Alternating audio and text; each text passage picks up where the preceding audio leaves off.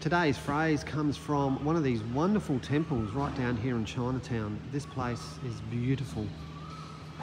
However, there's a sign out the front that uh, you need to uh, be able to read.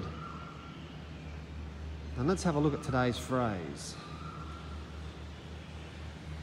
There's still many rules here in Thailand with mask wearing.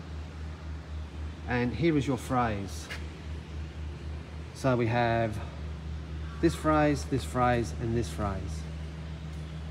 So the way it goes is may say, harm cow, tuk goroni. May say, harm cow, tuk goroni. You might have worked out what it means, I don't know. You might have seen this phrase before, or may say.